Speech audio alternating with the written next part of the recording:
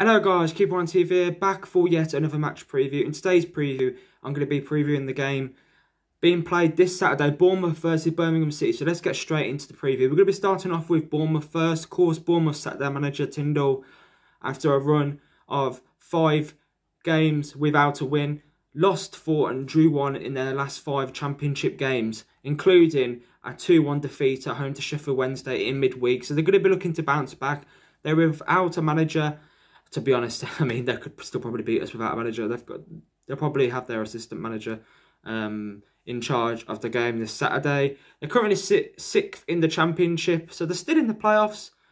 Um, but I think he, I think Tindall was sacked due to the fact that um, there was nowhere near the top two. Um, so yeah, their top goal scorer is Dominic Solanke with ten goals, uh, and of course they beat us three one at St Andrews earlier on in the season. Getting on to Birmingham, we had that awful, awful draw away to Wycombe. And Rotherham beat Derby 3 0 um, last night. So now we are two points above the drop. Rotherham have two games in hand and a Sheffield Wednesday. Their next two games are Millwall and Wycombe. I can see them getting at least four points from their two games. Where are, where are we getting our points from? But yeah, the, the starting 11, I would start a 4 4 2, you know. Neil Etheridge in goal, Mikel San Jose, not playing as a centre back. I don't know why. San Jose and Ivan uh, in the middle. Sorry, I don't know why I started off with the middle first. Harley Dean and Mark. Well, oh, Mark Roberts can't play. Mark Roberts can't. Maybe uh, Clarke Salter and Harley Dean at the back. Left back, Pedersen. Right back, Colin. The two midfield. Yeah, I've already gone through them, haven't I? Um, Sanchez, Bela, either wings. Actually, no, I, I would drop. I would actually drop Ivan Sunjic and put in Rekeem Harper. You know. Um, so Rekeem Harper and Mikael San Jose in the middle. And up top, Sam Cosgrove and Scott Hogan. I think if we play Jutkiewicz and Cosgrove together, I don't think it will work. You know, big man, little man partnership, Scott Hogan and Sam Cosgrove. Um, so he's got to start. We've got to start Rekeem Harper. We've got to start Scott um, Cosgrove as well. Because, uh, yeah, I don't want to be seeing them on the bench. Oh, yeah.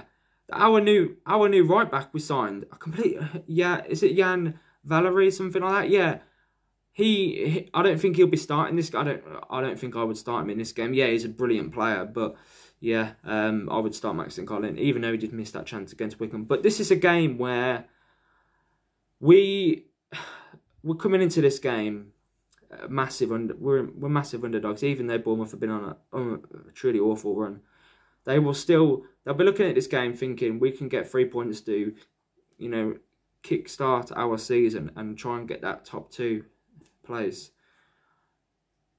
it's going to be a loss, isn't it? Another loss. I'm going to go with a 2-1. I do think we'll score. I don't know why, but it's just it's just going to be the most blues thing, isn't it, to win this game? So I'm going to go with a 2-1 Bournemouth defeat, but knowing that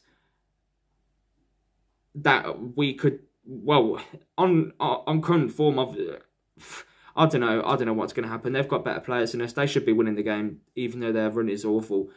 But we have proved it. Middlesbrough away, Reading away, Bristol City away. We can go to teams that are top half of the table and get a result. But yeah, um, we could see ourselves in the bottom three come the end of the weekend. in the bottom three, can you believe it? Wow. Let's hope that other teams below us drop points. But that's that's that's what we've become now. We're relying on other teams to drop points, so we're not in the bottom three. We're in twenty first place. It's just yeah, it's just really bleak, isn't it? Being a Blues supporter, and um, yeah, two one Bournemouth, as I said. Make sure to like, share, and also subscribe to the channel. Leave your predictions down below in the comments. It's been keep on it. I, I think I've already yeah. Anyway, see you later. Keep on.